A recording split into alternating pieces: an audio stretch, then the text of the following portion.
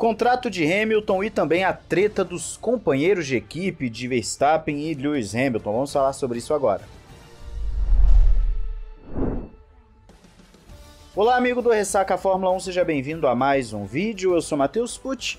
Estava devendo um vídeo sobre o assunto dos companheiros de equipe, mas agora nós vamos entrar nesse assunto. Antes, quero falar sobre o contrato de Hamilton, que foi renovado, nós sabemos, fizemos vídeo aqui, só que tem algumas informações do Daily Mail que são bem interessantes. Primeiro, Hamilton vai ganhar cerca de 50 milhões de libras por temporada, lembrando que ele renovou até o final de 2025.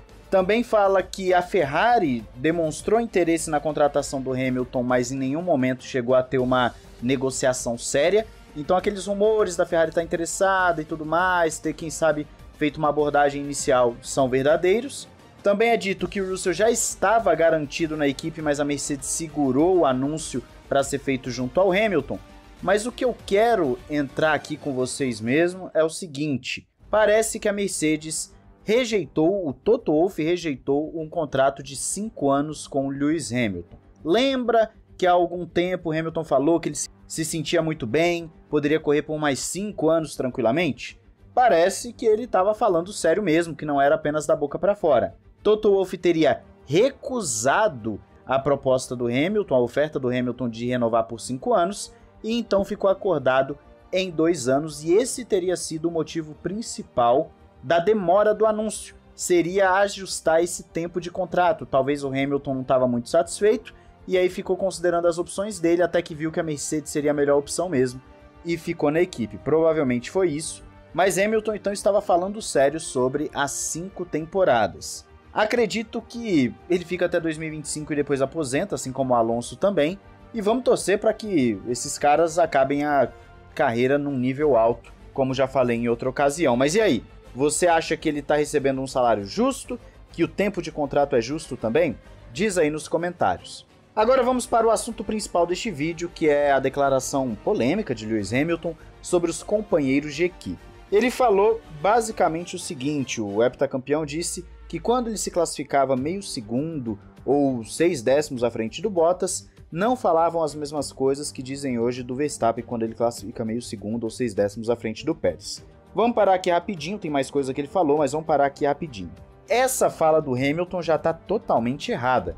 Qualquer matéria que você abrir do período aí de 2014 até 2020, que é o período de domínio da Mercedes mesmo, qualquer matéria que você abrir sobre os grandes quales do Hamilton, você vai ver uma porrada de gente elogiando ele, e eu tô falando de mídia especializada, eu não tô falando de fãs, porque fã vai estar tá sempre falando bem e tal, não sei o que, é normal, tô falando de mídia especializada.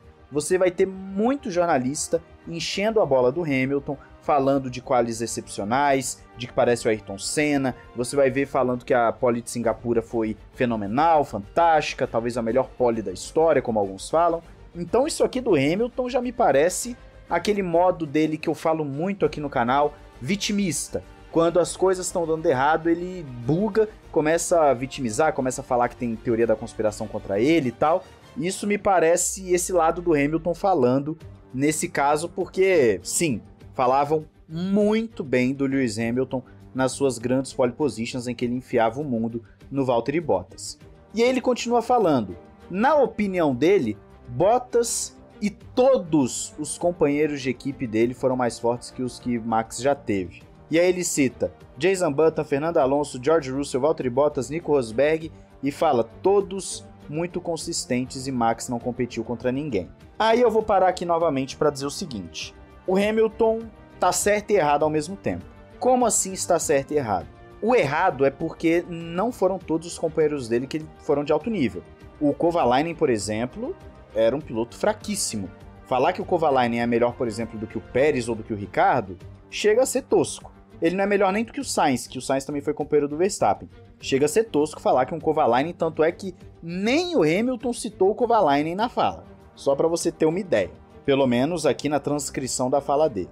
Outro ponto. É bem questionável a questão do Bottas, por exemplo. Ou até mesmo do Russell. O Russell é melhor necessariamente do que o Ricardo? Do que o Sainz, do que o Pérez, eu acho que o Russell ainda tem que se provar. Ele é uma promessa. Promessa é um piloto que você hoje vê ele num nível mais baixo, mas amanhã pode estar num nível muito alto. Então o Russell talvez não se encaixe aí não. O Bottas, para mim, não é superior ao Ricardo e não é superior ao Sainz, e eu acho que dá uma briga boa pra gente discutir com o Pérez.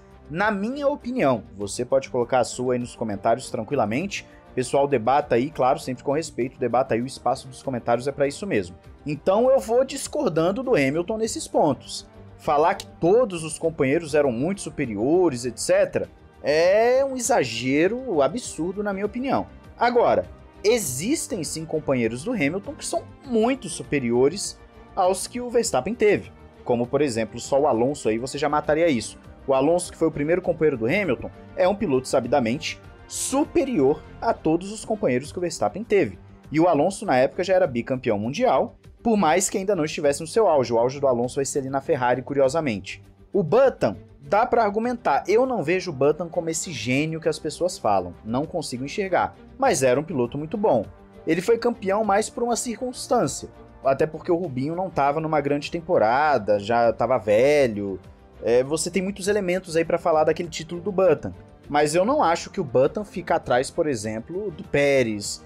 Ou se fica pau a pau ali, não é muito abaixo, nem nada assim. E o Button é melhor do que Albon, melhor do que Gasly, melhor do que uh, talvez ali os, os Sainz. É difícil dizer. Eu, eu, eu vejo o Sainz como um piloto muito bom. O Button é bem questionável. Agora, o Rosberg, para mim, é melhor sim do que todos os companheiros que o Verstappen teve. Para mim, o Rosberg é mais piloto do que o Button, foi mais piloto, melhor dizendo, do que o Button. Até porque o Rosberg enfrenta o Hamilton no auge, né?